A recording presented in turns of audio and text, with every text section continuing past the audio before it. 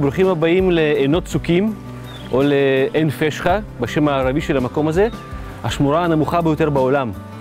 המקום הזה יש בו הרבה מאוד מעיינות. מדבר ומעיינות ביחד יוצרים שילוב מאוד מאוד מנצח שקוראים לו נווה מדבר. ואכן אנחנו נמצאים עכשיו בנווה מדבר הגדול ביותר במדינת ישראל. כאן באופן טבעי זורמים בין 70 ל-90 מיליון קוב מים בשנה, שזה כמות מאוד מאוד מאוד גדולה, הרבה יותר אפילו מנחל דוד או מנחל ערוגות. מאיפה באים כל המים? חברים, המים שאתם רואים כאן עכשיו, אלה מי גשמים שיורדים בחורף בהרי ירושלים בגובה של 1,800 מטר מעל פני הים, והגשמים האלה מחלחלים בתוך מצוק העתיקים ומגיעים לכאן, למרגילות ים המלח, ויוצאים החוצה.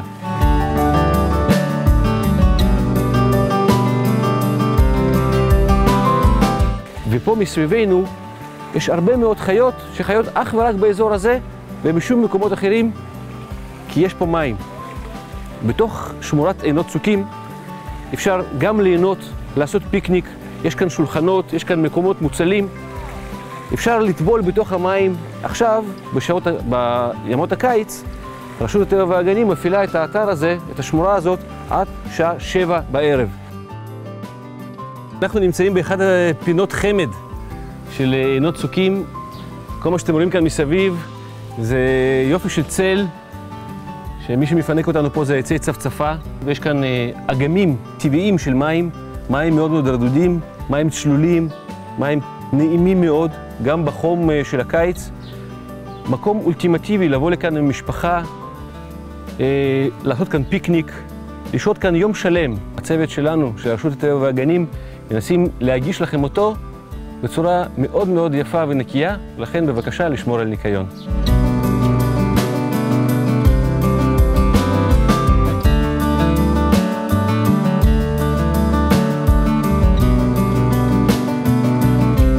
המתחם הזה כולל בתוכו שתי בריכות, בריכות קנה.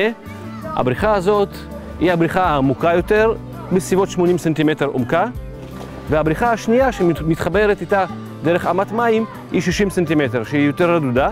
כל המקום הזה מלא בשולחנות פיקניק, מלא בסככות צל. אה, אפשר לעשות כאן אה, פיקניק, אפשר גם אה, להדליק פה מנגל, אפשר למנגל פה. עוד פעם, צריך לשמור על כללי, כללי הדלקת מדורות, אש.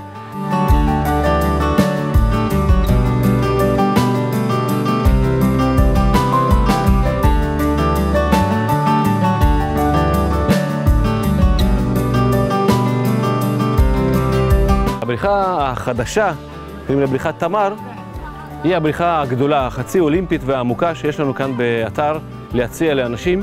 אה, הבריכה הזאת היא בריכה שהיא אה, נמצאת בהשגחה של מציל, ומה שצריך לציין שהמים שבתוך הבריכה הם אה, מים של מעיינות.